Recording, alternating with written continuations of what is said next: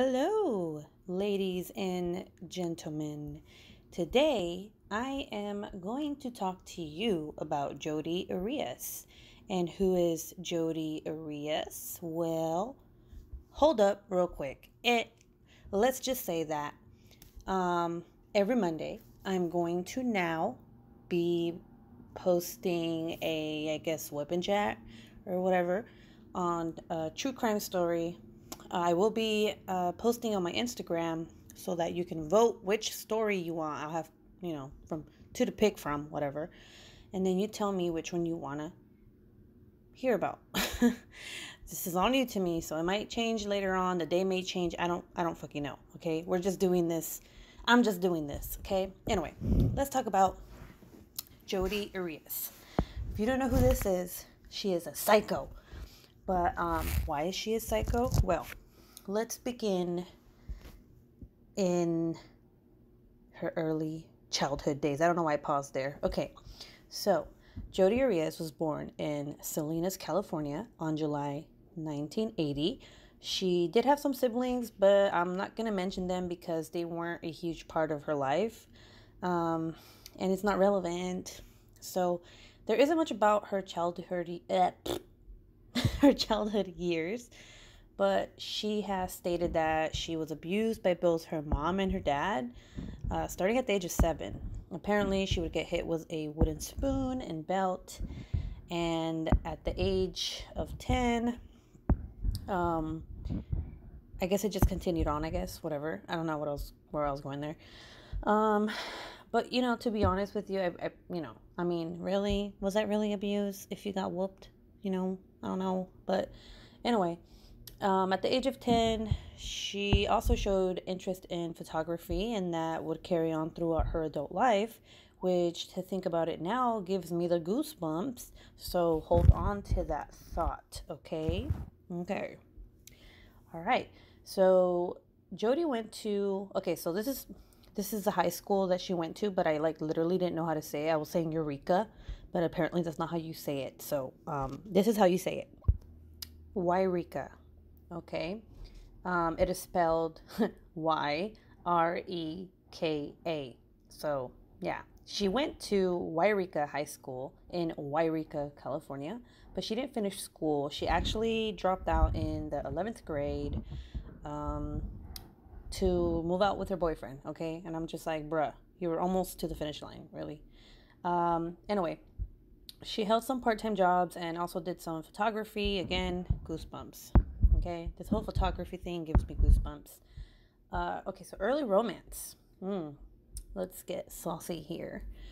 So in 2001 jodi began working as a server at the ventana inn and spa resort in carmel california. This is where she met daryl brewer the food and beverage manager. They were um, both living under staff housing and they started dating thereafter in 2003. At this time, she was 21 and he was 40. You know what? Whatever floats your boat. He said that he liked her because she was responsible, caring, and a loving person. So I guess I, I should say, uh, quote, uh, I liked her because she was responsible, caring, and a loving person, unquote. So the relationship flourished and they decided to purchase a home together. This happened in 2005 in Palm Desert, California. So, I mean, I guess they were serious if they, you know, bought a house together. Uh, so years pass, and in 2006, Jodi began working for prepaid legal service. So, so, you know, PLS. She had also kept her server job, so she basically had like two jobs while doing all this, she was also involved in the Mormon church by hosting and um, I guess just going to church and hosting these Bible study classes or whatever at her place. So she was like really into church. And the breakup. Okay, so this is when we start talking about the breakup because they did break up. Um, in May of that year, she told her boyfriend, Daryl, that she didn't want a physical relationship with him anymore because she wanted to practice what she was learning through the church and she wanted to save herself for her future husband. Which to me makes no sense since she had had a very physical relationship with him. Like, come on, girl, really? And then on top of that, around that same time, like she got breast implants. So it's kind of like, what? Anyway, not that that has anything to do with her being Mormon or anything, but it's just like really odd. Like she breaks up with him and then she gets breast implants. Like, okay, girl, you do you. Uh, so anyway, so she was with Daryl, but it wasn't physical. Okay, so as she became more involved with her job at PLS, she became financially irresponsible and she uh, defaulted on her financial responsibilities. Since she bought the house with Daryl, they both pitched in, and she was like, eh, I don't give a crap anymore. It's all you, boo boo. So, since this relationship was obviously not going anywhere, they decided to split up. And also, well, yeah, she wasn't paying for the house. So, like, he was like, what the fuck? Um, he wanted to move away to Monterey to move closer to his son because he had a son and she didn't want to, so they split. Um, I mean, I'm, I'm pretty sure there was like more factors into this, but we're not going to go there. Uh, he left and she stayed behind in the house. And at the end of that year in December, the house went into foreclosure and she got the hell out. Okay, so how did she meet her victim? Her victim's name was named Travis Alexander. Um, so Jodi met her victim, or the victim, her lover, um, Travis Alexander, at, at you know the place that she worked at. He was a motivational speaker and sales representative for prepaid uh, services, which remember she worked for. There was a prepaid legal conference that both her and Alexander attended. Boom.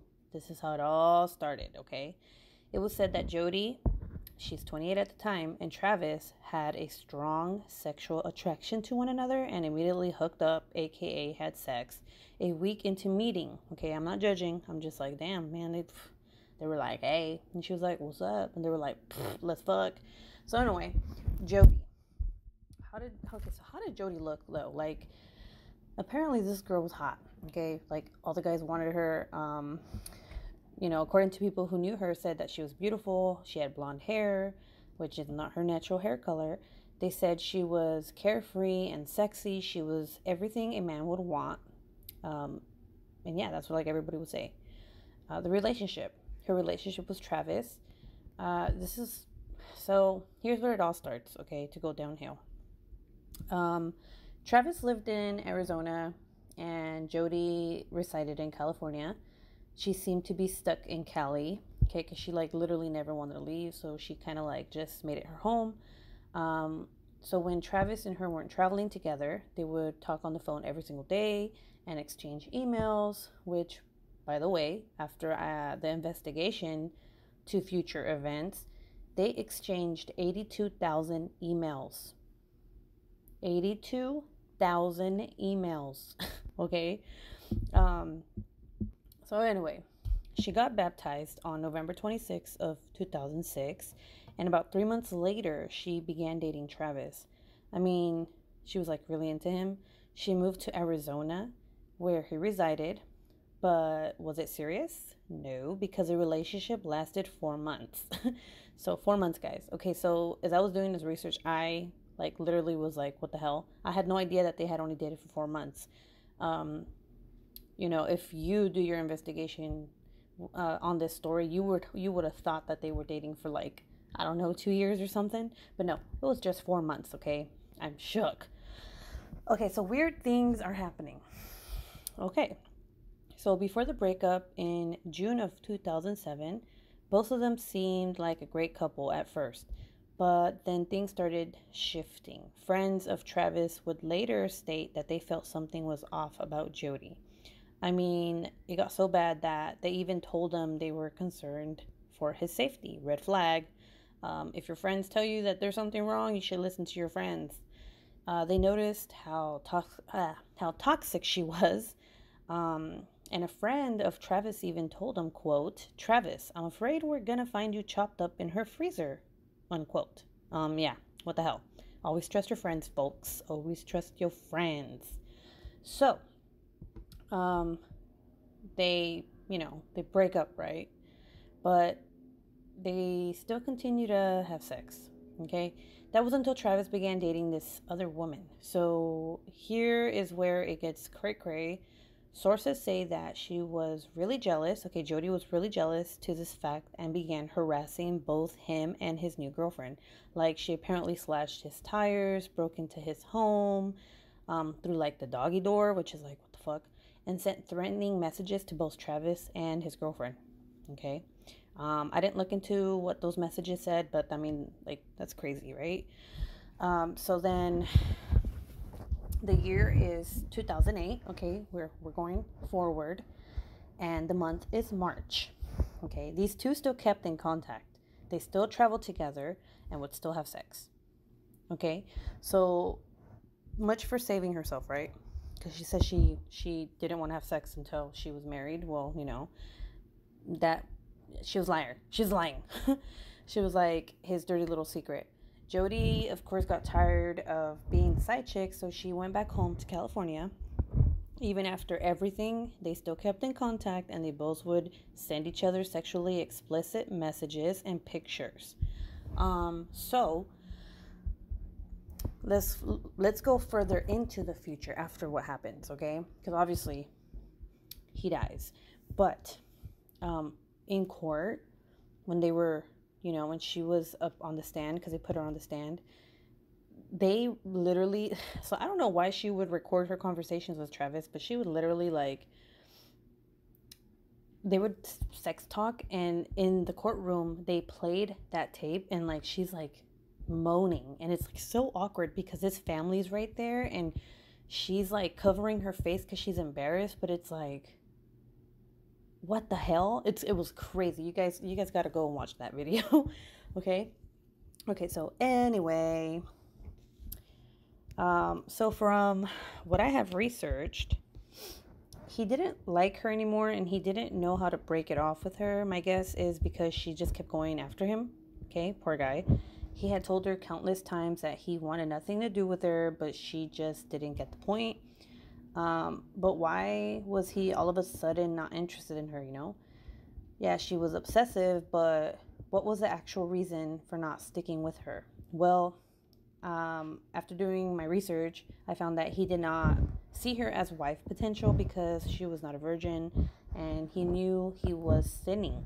He wanted to marry a virginal, pure Mormon girl, and by having sex with him, she eliminated herself in being wifey potential which to be honest with you like if after everything like if you didn't like her you shouldn't have kept contact with her you know? It was kind of like oh i don't like you but hey let's do it. Wait hold on you gotta leave now. Wait no come back. Like you know what i'm saying? It was i mean i'm not saying that validates what she did but it's kind of like they were both toying with their emotions you know what i'm saying? Um so apparently travis had a he was going to cancun okay and instead of asking Jodi, he, of course, you know, asked his girlfriend because he's dating this girl. And Jodi found out and she was like super pissed off. Okay. Like she was like, what the fuck? Um, so, anyway, at the time, Jodi was living with her grandparents. And in May of, uh, uh, uh in May of 2008, May 28th, 2008, um, a 25 caliber gun was reported missing from their home. Okay and obviously that's like the grandparents gun and they reported it because like you don't just not report a gun missing you know um so on june 4th 2008 jodi went on a trip to utah uh, but took a detour to arizona to visit travis so the thing is that when she was going to utah she was actually going to go visit her like boyfriend or something at the time. She was talking to some dude. I don't know who the hell he was, but she was gonna go visit him. She was like, mm, "I'm gonna go to Arizona." Okay. So who lives in Arizona? Travis Alexander. Okay. Uh, prosecutors say she was she had arrived unannounced, but Jodi states that she had been invited. Anyways, Jodi and Travis end up having sex. Alex jumps into the shower. Travis Alexander jumps into the shower and Jodi grabs her camera because remember, she is a professional photographer, so of course she has her camera and she begins to take pictures of Travis as he showers. He knew what she was doing because he is posing in these photos that they later, you know, saw on her camera. And yes, these photographs are online for you to see. So if you Google um, Travis Alexander shower pictures, it's gonna show you his pictures. I mean, you can't see anything from like the waist down, but it's like very eerie because of what happened right after she took these pictures. Okay. Um, and so yeah, uh, it, it is chilling because right after those pictures, she murdered him. So literally, um, it said that she began stabbing him like right after those pictures were taken and the reason that they think this is because her like she dropped her camera and it like it took a picture of him without her even knowing that it took a picture of him lying on the floor bleeding. Um, so let's go back to june 5th okay? This is a day after she murders him. Um, jodi continues her little trip to see her mystery man uh, keep in mind that she has just murdered her ex and she goes on her merry way to see this other man. Okay, so it was like, oh, I killed him, but I'm still gonna go on my trip to see this dude. You know, she she didn't give a shit. Um, so okay, anyway, June 9th. Okay, so it's a couple days later, June 9th, guys. Um, friends of Travis go to his home because they have not heard from him and they are worried they go into his house and they go through the garage and they call out for him but he they don't get a response. They proceed to the bathroom where they find him lying on the shower dead. His body had been there for five days okay? No one had found them for five days so his body was there for five days. Can you imagine how he looked being dead that long? Like okay so i actually googled pictures when i first heard of this case years ago and to this day, I highly regret it. It traumatized me, okay? Um, if I were you, I wouldn't look them up because they are online and it's like super, super sad. Um, later, it was said that he had been shot in the head with the 25 caliber gun, okay, which obviously is the one that was stolen that Jodi stole from her grandparents, but they didn't know at the time that it was her. Um, he had been stabbed and slashed 27 times it was so bad that she had almost beheaded him because she cut his throat open. Yeah, I mean, she did a number on this guy.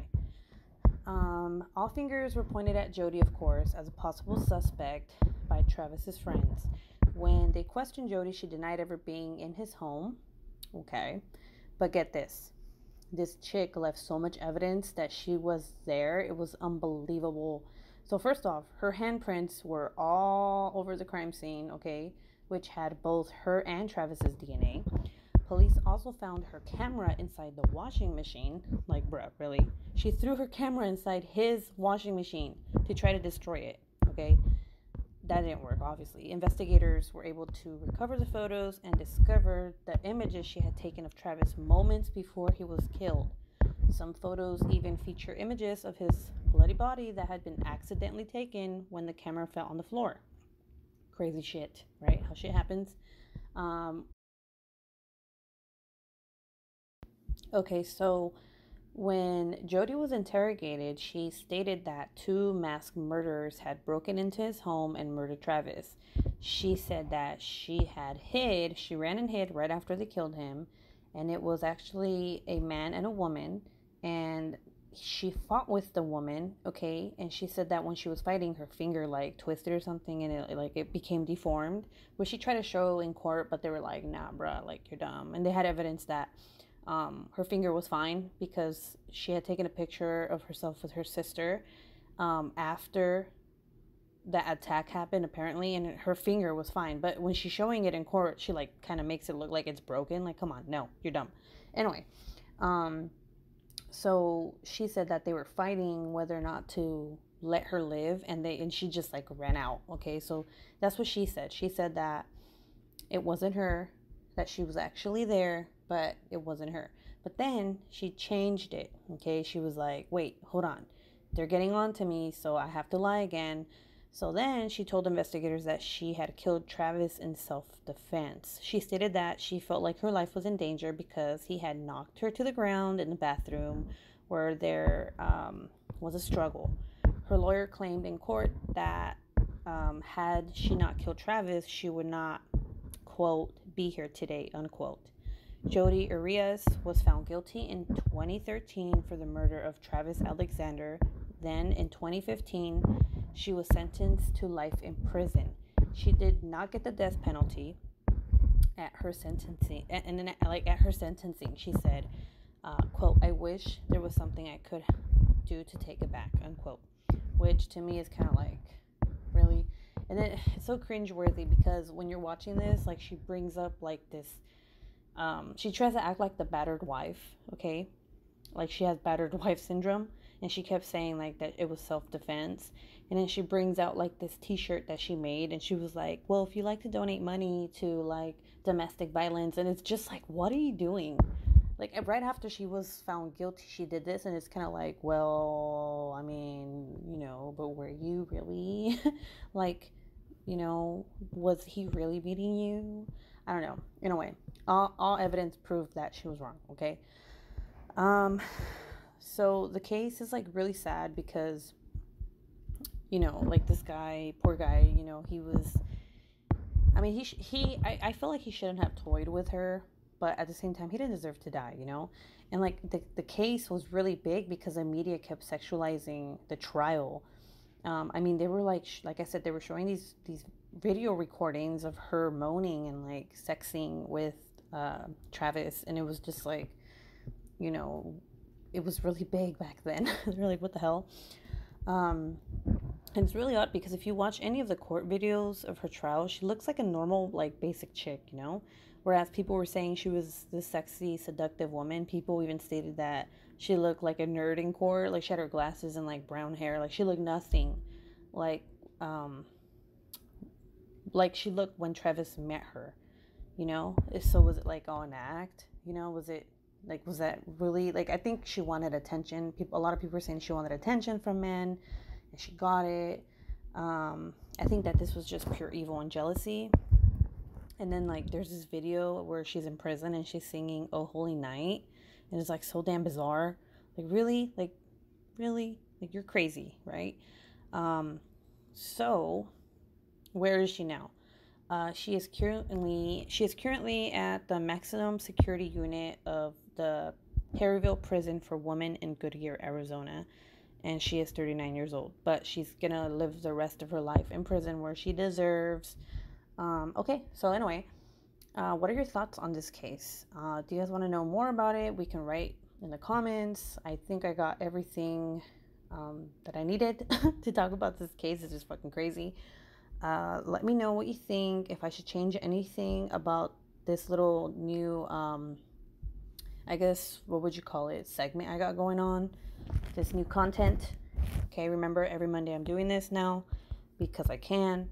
Um, all right, that's it. Give this video a thumbs up, and I will see you in the next um, saucy time crime. I don't know, crime time? Saucy time crime? No, wait. Saucy Crime Time. Yeah, that's actually really good. Okay, that's what it's called now. Saucy Crime Time with Ruby. All right, bye, guys.